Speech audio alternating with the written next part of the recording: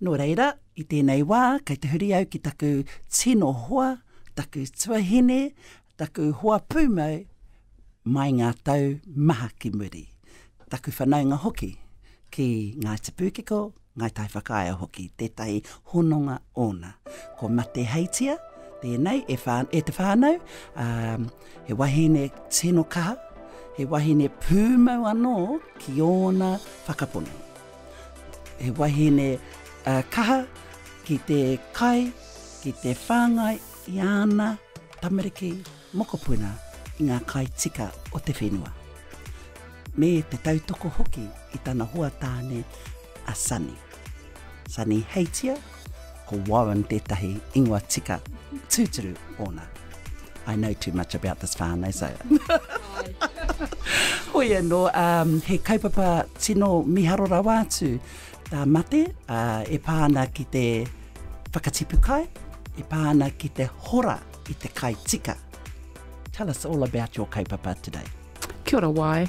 Um, thank you for the kōrero and thank you Annie for uh, um, inviting me here to talk about Reka and Reka Kura. So Reka uh, was um, originally um, created to address the health issues of our people. Um, Māori are dying of uh, degenerative diseases, cancer, heart disease, diabetes, asthma, and obesity is at um, an epidemic rate, uh, even with our tamariki. Now that's because we are not eating the kai of our tipuna. So Reka was uh, Reka was created using a kupu that we all understand, Reka, to align us immediately to Kai. Well, that was my little bit of uh, time uh, in communications and marketing with my FM in, in Auckland, so it taught me to do those kinds of things. So I use Reka as a kupu to alert our whānau that this is all about Kai. And as you know, we launched in 2008 at Tuteo Marae and then at uh, Pāho Marae, Mai Marae in, in Pukeko uh, Rohe. Um, and we tested out growing kai with the permaculture uh, ropu. Um, we then did another five of uh, uh, four or five years. And also we, um, oh, and during that time, uh, I presented our mahi at Te Wharewananga. And uh, yes, Te Wharewananga o Awanuiarangi, definitely. And um, at the time, the CEO there was distinguished Professor Graham Smith. And uh, he called me into his room the next day, and I thought, oh, heck, what have I done in this conference? And he kept me in there for two hours talking about my kaupapa. And uh, he wanted me to join research. So, as you know, I ventured into that area uh, because I found that doing the practical mahi was great, but um, I wasn't getting any support. Sunny and I weren't getting any support from the kawanatanga. It's a it's a lot like oh, you know we want to do by Māori for Māori, but it was like they didn't trust us that we don't know. So um, I, I, was running around getting funding here and there. Eight Marae is quite you know quite a lot to do, and I had tutors from as you know why I asked you along. We were teaching te reo, we were teaching hauora, um, exercising, we were teaching te reo we were teaching how to grow kai, we were teaching how to eat good kai. And so, of course, as you were raised, like I was, you were raised on Rewatu Road, and our, our our our street off there, our road, Paho Pa Road, is just off there. Aye. And we were all brought up on our beautiful kai. Mm. Our parents fed us from the whenua, and um, that's probably why we were so such hotatus with sport. So we played a, a lot of sport. Pakari. General.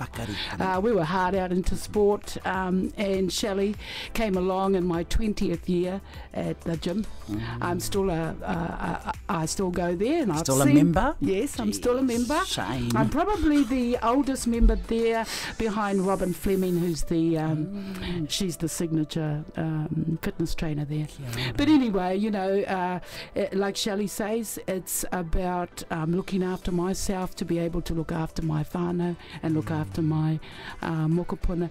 You know, Ani, I know you. You know, it's difficult being a working mother, but um, we don't seem to get those. Uh, well, we don't have those salaries where us wahine can stay home. I know I would have loved to have stayed home and just looked after my kids, but it wasn't practical. Mm. So we all had to do that, and um, it's not easy as a Mm. wahine Māori, um, looking after yourself so you can look after your your tamariki Mm. and your tāne. Mm. You know, a lot of our mothers are struggling without a tāne, Mm. um, and we have some lovely ones. Kia you know, ora. we've got some Aye. lovely tāne Aye. that support us. And um, lucky for me, Sunny has been the gardener Mm. and he loves it and he's very good at it. Um, so Reka was, uh, yeah. Uh, delivered in eight marae. We went, we did six in uh, Ngāti Awarohe. Then I tested it up in Auckland, uh, in the city, to see how that went, and it went really well. Then I thought, oh, let's go to the other extreme, and we went to Ruatahuna and tested it up there, and they were very clever those those people. So my husband, of course, Sunny has that uh, history of uh, construction. He was a did light engineering, and if you come to our place, we look like uh, Green Acres with all our things that, that he's He made. used to panel beat and sp- panel beat and spray paint cars. Now he's doing exactly that, but with his gardens. yeah.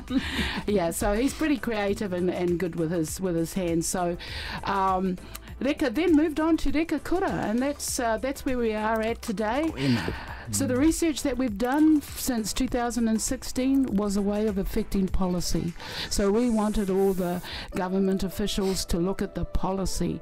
So we've done all this research and we've actually put together, Reka Trust has just finished a research project uh, collaborating with Te Puna Ora o Mātātua and Te Whare Wānanga o Awanuiarangi and um, the Atawhai o Te Ao in Whanganui.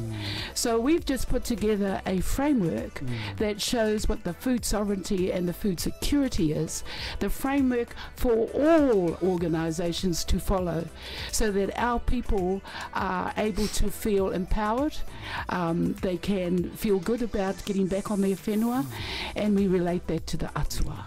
So the atua is, uh, you know, there's no health system, but the health system that the tipuna laid down for us No. and that that health system is the kai. Mm. We've gone off that and we're going towards the American kai. No. I know people don't like me saying it and I'm teased about it, but I think it's all in good fun. Mm. But KFC, mm-hmm. Makatanara, Burger mm. King, they're so ah. bad for our tamariki. So, yeah. So, Reka Kura has been, uh, it's been created to introduce our tamariki to fresh kai, seasonal kai. And seasonal seasonal kai is it's so clever how nature aye. Well what the, what nature does is it, it it gives you the fruit that's ripe at the right time to give you the right vitamins and minerals to fight off illness. That's why the lemons and the oranges and the kiwi fruit and the and the feijoas are all ready so that you can fill yourself, fill your body with vitamin C. Um, Reka Kura also uh, promotes te reo, me wana tikanga. And we also like uh, Kura to talk about local history as we've got our, our kōrero at Matirero about Toroa and Puhi that all our tamariki should know.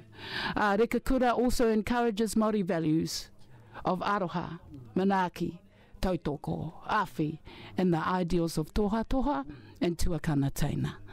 The ideals we were raised. And uh, most importantly is that we promote sustainable living and healthy lifestyles. Mm. O atahua, atahua ngā kōrero, kōrero, ngā wawata, engari kia hau e hara te wawata. Aye. Ne. Ko whakatinana hia e kōrua ko Sunny? Aye. You and Sunny have, uh, have, have brought this kaupapa back to the fore. The kaupapa is our wellness of whānau by, by um, ngā kaitika. And kaitika, yes, you're right. Your, our parents, everyone's parents, need te whānau.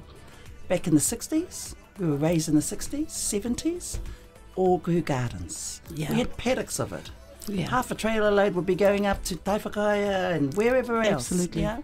And our parents would pedantically be always planting, Aye. be always sorting their rua out. You know? Aye. And of course, by the time we got to 18, we were all hoha. Aye. We wanted to go out, you know, and not not sit at home and and, and separate seeds. Mm. mm. Yeah, nā, nā riwai Aye. more uh, hei kai nai nei, ne? So there was riwai and kumara that you would eat first, and those were the ones i motu, the ones that were cut, Aye. and leave the nice prized ones in the rua for for because they would um, have a duration of life. So I remember our dad, whenever we would come back, we'd have Aye. puke, ne? E puke nā kai. They would have,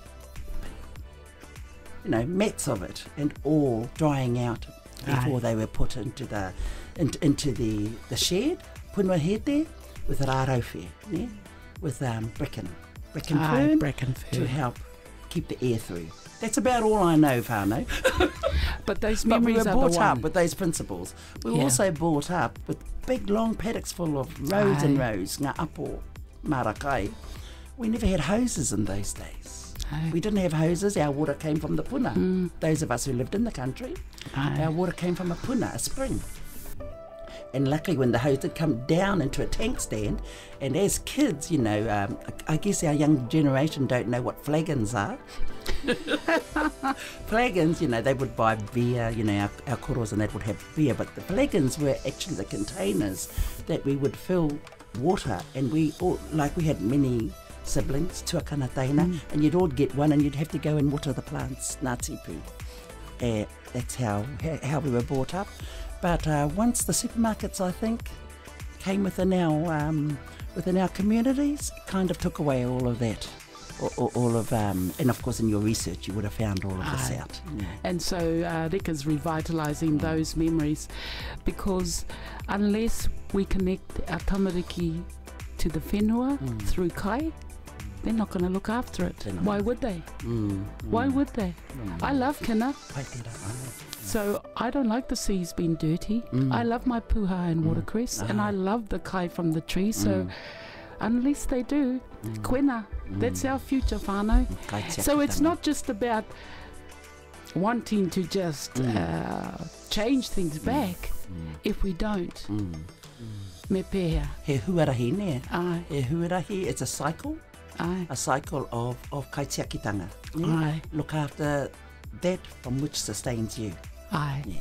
So And that it will be there for the generations to come. ai. Mm. And so what we've built into Reka is that we deliver our kaupapa based on the growth of a seed. Mm. So we start from the seed through to the seedling, through to the ripe fruit. And what we're doing is teaching, of course, as I said, the kaiako. So what we're teaching the kaiako is that a child can see the growth of a plant, of a tree, and they will see that that tree, that plant needs sunlight, it needs water, and it needs care. And this is our way of empowering our tamariki so they can think in their minds, why am I not growing right? I'm not getting the sunshine, all those things that they need to tipu ora. Poi poi a te kākano, kia puāwai. Ai, ai. So kia kaha te whānau, tino pai um, uh, a te wā, ka rongo anō koutou, you guys will all hear um, more about Reka Kai in the very near future. The Aye. very near future. Aye. It will hit the schools of Ngāti Awa. ai. Kei te tika tēnā? Well, we're launching it. Uh, so we are launching at the end of July. Mm. Uh, we're running workshops, and we will have online services for. Um, any kura, so any kaiako of, of kohanga, kura kaupapa, kura tuarua, um, Reka Kura is designed for you. Um, so, no mai haramai, um, you can email me Ngā. at mate at reka.org.nz. Kia ora. Ka mau te wehe. Isn't that awesome, whānau? and that's an awesome way to round up our day today for Fire Up. Ne? Mm. Māua ko tēnei whaia a o tātou a mate heitia, a Shelley Akuhata, mai a māua ko ane. Tēnei te mihi nui anō kia koutou. Kia ora e te.